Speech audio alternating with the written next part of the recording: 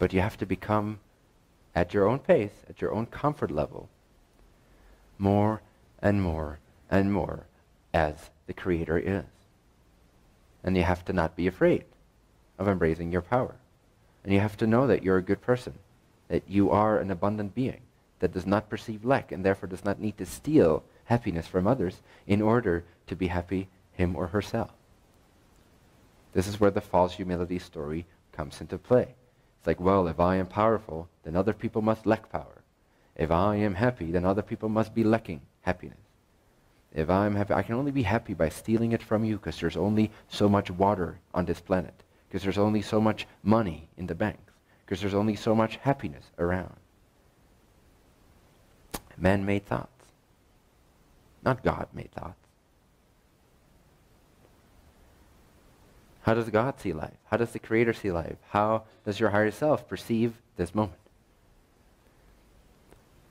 As one of many infinite possible realities, all coexisting right here, right now, with no lack for anyone in any aspect of life. That is how it sees creation. If you want to become more like it, you have to see more as it sees. How do you do that? Clear out any perspective that makes you feel bad. That's where the guidance system of the emotional body comes in.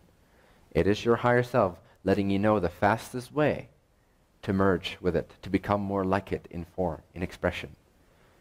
Whenever you feel bad, it is letting you know that you're placing your vibration further away from the truth of creation.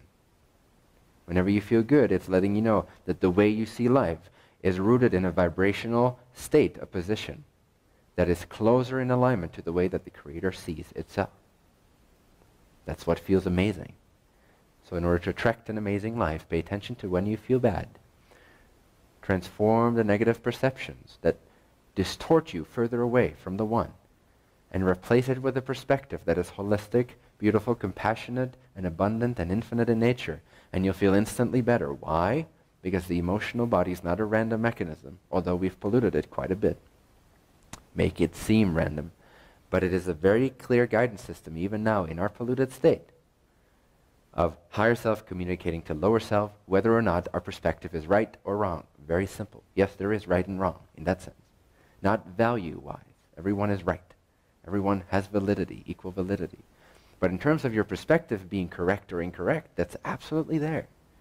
And incorrect perspectives still add to the expansion of creation, so it's still allowed, it's still valid, it's still loved.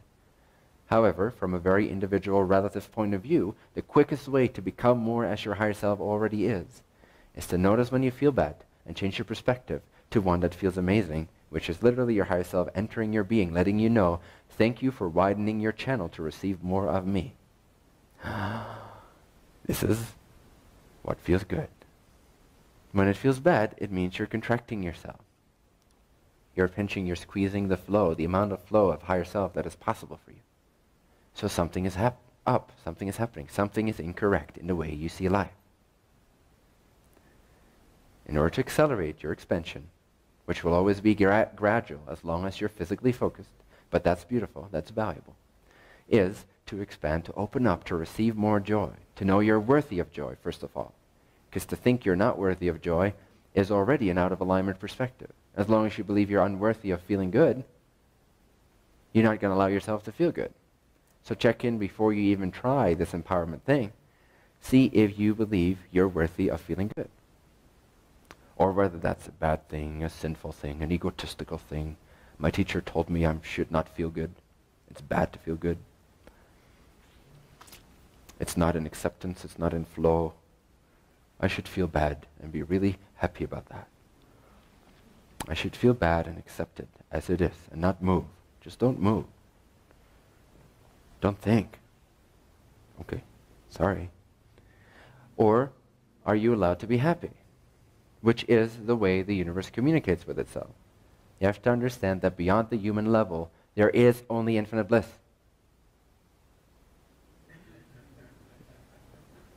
There is no justification, there is no cause and effect. If you want to become more expanded, more selfless, more true in your view of life, you have to let go of the human view of life, which is rooted in lack and unworthiness. It's not true. It's valid. It's an expression of the infinite. But it's not true. It's not correct. It doesn't feel good because it's not correct. Whatever is true feels good. Like truly, holistically, peacefully good. And excitingly good. Not just like, oh yeah, this feels good, but underneath, no, I know I did something that, ah, I stole this happiness from someone else, and now I think I feel good for a moment. But no, not really. That's not the type of happiness I speak of. The happiness, the feeling good I speak of is a holistic overflowing of goodness. feeling amazing about yourself no matter what. That is what creation is like all the time. Aside from inside the human mind bubbles. Even the human mind spiritual bubbles. If you truly wish to develop a true view, you have to let go of the human view, including re the religious and the spiritual and the self-realization human view. You gotta really be selfless enough to get past all your barriers of sin and unworthiness and being afraid of your arrogance, which is the most arrogant thing you could do. Just be afraid of becoming arrogant. How arrogant of you to think that when you expand,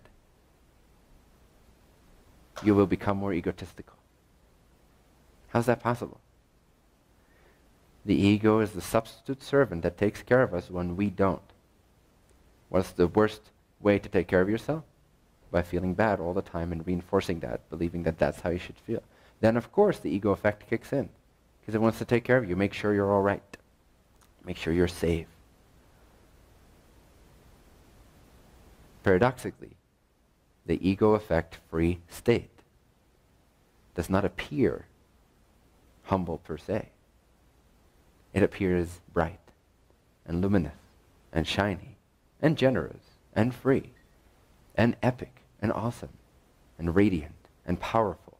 And it stands out, but only because no one else does. Not because it is arrogant. It stands out because everyone else insists upon something that's not true, and they're closing down their channel. Then someone that opens up will stand out will see more shiny, will see more arrogant. Only because you don't. Listen to the arrogant people in this world. Learn from them. Not in a negative way. Learn from them in a harmonious way. Learn from the confident people. Learn from the shiny people, whether in the field of spirituality or not. I don't care. Can be a business owner that's highly successful. And yes, that may have a lot of misperceptions regarding the nature of reality. But learn from their state somehow and apply it to your own harmonious, integral knowing of the goodness that you are. Start shining yourself, start radiating, start feeling more expanded beyond your chest, beyond your body. The more you feel enclosed by the body, the more that is a sign that you're seeing things in an incorrect way. Yes, there is incorrect ways of seeing things. And there is more correct ways of seeing things, more accurate more relevant, more precise, more harmonious, more in line with all that is, being one inseparable being of infinite abundance. So shine, especially when no one else does. Step on their toes if they insist to put their toes right in front of your feet. Because that's what happens. Because when you start shining, you attract both more of the shininess as well as the opposite, making its unconsciousness more conscious to itself. How will it do that? It will attract certain shiny, standout examples. And it will bash them or embrace them. Learn from them consciously. Thank you. Or learn from them unconsciously. But learn from what they attract, they will. So let everyone learn from you, because that's part of your service. In whatever way they choose to learn, positively or negatively. Accepting or rejecting. In resistance or in flow. Do not be afraid to shine. Or do. Whatever feels best, whatever feels more precise, accurate, and correct for you. But if we could all light up a little bit more, then no one else would have to stand out as much. because we all would. And then no one does. A hundred years from now, there won't be spiritual teachers anymore, as we know it. Hopefully. be redundant. Be absolutely redundant. Spirituality will cease to exist. Because it's a man-made concept. It does not exist. We're just talking about life. We're just talking about creation. Spirituality is an antidote to having constricted our flow. Oh, are you a spiritual person by any chance? I've just discovered that I don't feel good all the time, and I want to explore what it's like to expend myself. Are you a spiritual person? Can I relate to you? That won't exist anymore.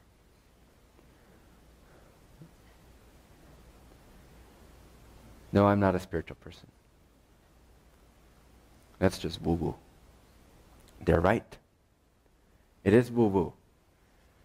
Spirituality does not exist. It is a man made concept. It is for those that wish to escape. But also the view that there is no spirit, that there is no consciousness, that there is nothing more, is also incorrect.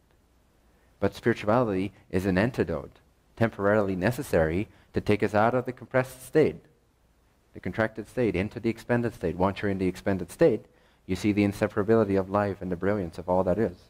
And then where is spirituality? Where is the spiritual person versus the non-spiritual being? Where is the one who is conscious versus the one that's somehow not conscious? It will cease to exist, hopefully. It will eventually. So when we all stand out, when we all shine, then no one stands up and all will be brilliant in their own way, in their own right, and accepted and learned from, and everything will accelerate. Do not be afraid to shine. It is what this world needs. It's the best way to be a whistleblower on the ignorance of humanity. It's to shine. Doesn't mean you have to speak out necessarily as I do. You can keep quiet if you want to. But by radiating you will say so much more than you ever can from a contracted state of being. Be happy no matter what. Show people that they have the option to redefine the neutral appearance of the configuration of molecules. That's all it is. Configuration of molecules, which is energy, which is consciousness. We can choose how we wish to respond to something all the time. What we wish to create, what we wish to generate, how we wish to feel how we wish to perceive this moment. Show people they have this choice by being an embodiment of it.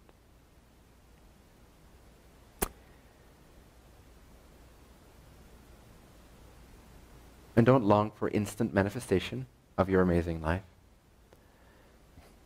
because it keeps your pace slow. Why? Because you keep seeing it as not yet here. And it will have to respond to it not yet being here. I want instant manifestation. I want that thing now. In other words, I don't have it now. And life goes, oh, you don't have it now? Okay, you don't have it now.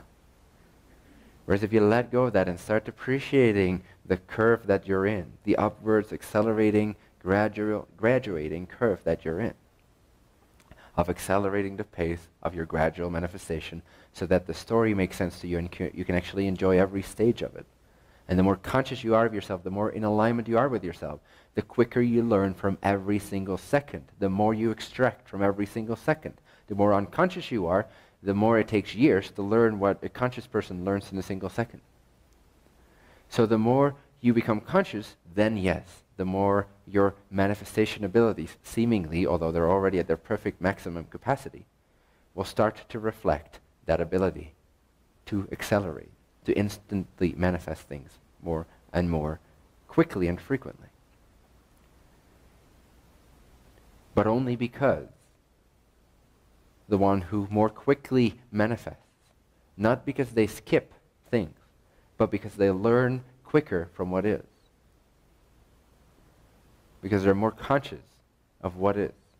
Not what is in the circumstantial sense, like, oh, this is, so I must feel this way. What is meaning, this shows up right now. It's a reflection of who I am. What do I want next? I want this next. Oh, this is a reflection of who I was. What does it teach me? Oh, mm, this does not feel, feel quite the way I thought it would feel. This, however, is amazing. Whoop. Full amazingness here right now. Whoop. And then it reflects itself again. Oh, what does this? reflect in me. Awesome. So the more consciously you learn, the more quickly within a similar, seemingly lifespan reality, you manifest. But not because you're skipping steps, but because you're learning more efficiently. You need less time to bring something to your attention. Does that make sense? You can't skip ahead of your own theme. You wouldn't want to skip ahead of your own theme. Only the mind, rooted in the idea something is lacking now, thinks it desires that. But your true being desires to tell every single step of this story. How fun would it be to read a book and then to go from one page to the other and suddenly you notice you're missing a couple of scenes? It's like, wait, what? I have no context to understand this. It's not interesting anymore. Same is the case from the higher self point of view and from the personal consciousness point of view. You want to know what happens every step of your way, of your theme, no? Learn faster.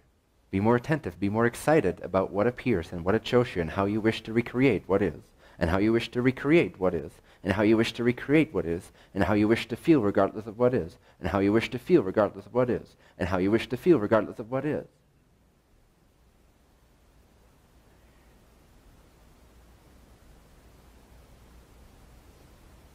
So that what it takes someone else to take 10 years to learn and express and manifest takes you two days. That is acceleration. It's not skipping ahead of yourself.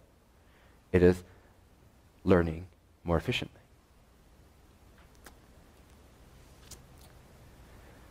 A little side note to that, a little disclaimer. to the one that is in the accelerated stage, two days will feel like two years. What a perfect way to practice patience by learning not to wait. Because if you're not waiting, you don't need patience. How can you not wait? By being in full joy regardless of what is. So what I'm saying is, yes, you'll accelerate what takes someone else to pay attention to in two-year time span because they're just so unconscious and not willing in that moment to face themselves, to make contact with their direct experience, their own creation those two days to you will feel like two years. So you'll still have the same sense of when is this coming? When is this happening? It's been two hours. My new house hasn't arrived yet. What the F? Whereas someone else that learns at a pace of two years what you do in two days, they go like, man, you're moving fast. I didn't know this was possible. And you're like, what, fast? Well, I guess I can see that from your point of view. Oh yeah, awesome. Well, thank you. Now I appreciate my flow that much more. And voila, the house comes. Because you were in appreciation of your flow, you changed your state of being. So always be in appreciation as much as you can. Be in confidence as much as you can. Take everything as a sign that things are working out, that you are being amazing, that you are learning. Always enjoy your present learning curve by knowing that it's awesome.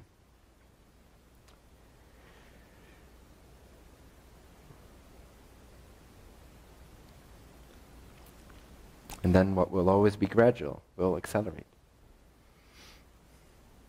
And by the end of a single lifetime, you will have written such an epic story for yourself that even though 20 years ago you thought you turned it into a book, by then you would know where to start.